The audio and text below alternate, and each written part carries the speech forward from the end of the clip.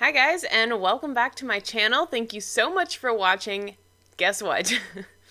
Today I am exactly two weeks away from competing in my very first, probably only ever, triathlon.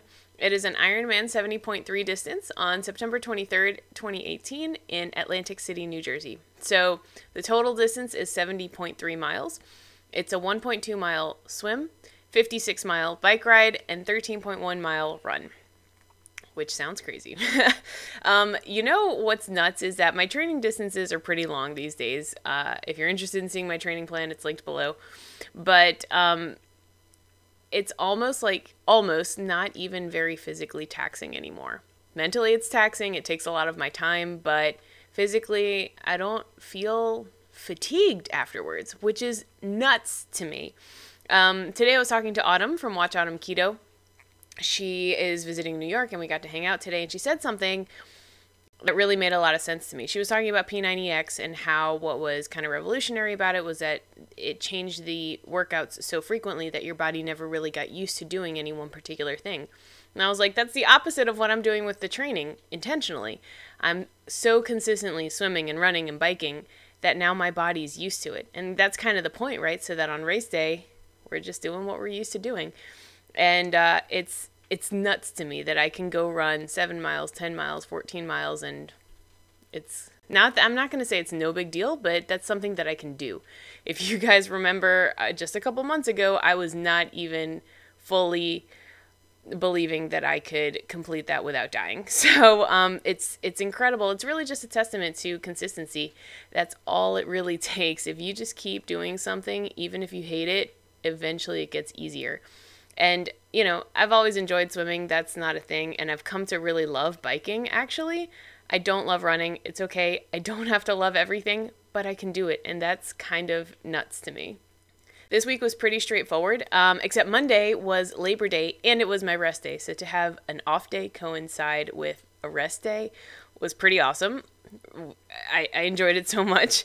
Um, yeah, other than that, my training was pretty straightforward. Oh, today I did train really early. I got up uh, much earlier than I normally do, but I had to bike 60 miles, which um, took me about three and a half hours, and I wanted to get all of that done before I saw Autumn, you know, because we were going into New York, and I knew I didn't want to like come back from that and then have to train. So I did that early in the morning, which I don't normally wake up that early, but um, then I got to thinking there are two kind of important things that I haven't trained yet. And one of them is the timing, right? I mean, the transition station opens at like 4 in the morning and you can set up your stuff between 4 and 6:30 and the race starts at 7. So, you know, maybe I'll get there for like 6, set up my stuff and hang out until the race starts at 7. That's early for me, you guys, like really early. So, and I haven't really been training things in the morning, and I probably should. Um, or I need to at least think through my nutrition because now I've been training like in the afternoons after I've had like at least one or two full on meals. So, um, just kind of thinking it through, I've thought that I will probably swim fasted. And then in the transition between swim and bike, I will probably eat like a Stoka bar with some peanut butter and then um, during the bike, I will take some almond butter with MCT packets with me, and, along with two full water bottles, each with a Zip-Fizz, and the, that has electrolytes and caffeine. And um, and yeah, I think I'll be okay, but I need to really kind of think that through. The other thing I haven't trained is training without headphones. Um, I don't know if I've mentioned this before, but Ironman Athletics don't allow any kind of communication devices on race day. So, no Bluetooth, no headphones, no phones, no walkie talkies, no speakers, nothing. You can have like a watch and that's it. But you can't be playing music or anything like that. So, um, I think this will really only matter during the run. Obviously, um, when I bike and I'm outdoors, I definitely don't wear headphones because you need to be like super aware of your surroundings. But um, during the run, obviously, when I train, I listen to music or I watch a bunch of YouTube videos if I'm on a treadmill, and um, honestly, I'm not using it in any sense to like pace my time or anything. It's not helping my run in that sense. It just keeps my mind occupied. And I think on race day, because there's going to be like so much going on and like the run happens on the boardwalk of Atlantic City, it's like really beautiful and there's going to be like spectators and stuff. I think my mind will be distracted enough. Um, but that's the other thing I haven't really trained. So I don't know. I'm thinking about it. Maybe one day I'll try to run somewhere without headphones, but I don't want to do it if I don't have to. um, um, I did take my bike to the mechanic this week. Um, for the last like four weeks out of the blue, every time I pedaled the left side, I would hear this like click, click, click, click, click, click. And um, I didn't feel anything funny. I was just like making the sound. But my coach Jackie was like, "Look, you really need to get that checked out just to make sure nothing mechanically goes wrong on race day that you can't handle." You know, I did learn how to fix a flat tire, but that's about it as far as what I can do to fix my bike. I think I can also fix my gears if they like fall off, kind of. If the chain falls off the gears, I don't know.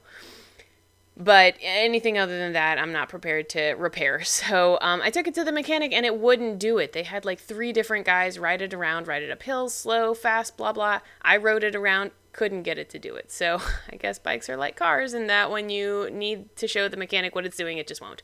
Um, hopefully it's just like a problem that has resolved itself somehow. It's just gone forever. But you know they did like tighten everything up to make sure everything seemed okay and it seems fine. So i still have two weeks you know i will obviously continue riding my bike and hopefully that won't happen again. Um the YMCA that is near my house has reopened. About two weeks ago, the pool closed for maintenance, so I had been going to a different YMCA that was like 35 minutes away from my house. And I mean, as you can imagine, I'm spending a lot of time training as it is. So to add like over an hour of driving time to get to a pool was inconvenient. Um, but I did it over the last two weeks. I am so glad that the one near my house has reopened. Um, although I will say the pool that I had been going to for the last two weeks had these big digital clocks, like four of them, so I at each corner of the pool, so I could see them at all times when I was swimming, which was so helpful. I really think that's a big part of what um, helped me increase my speed in swimming.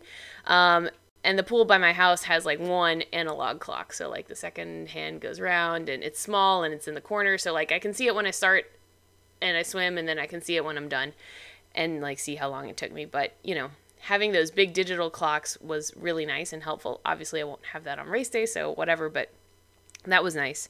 Um yeah. Oh and uh one day this week um okay so you guys remember for August I was chosen as like member of the month at my gym. Well, at the gym at work. Well, internally they published this like health and wellness newsletter that goes out to all employees, and I was like featured in the newsletter.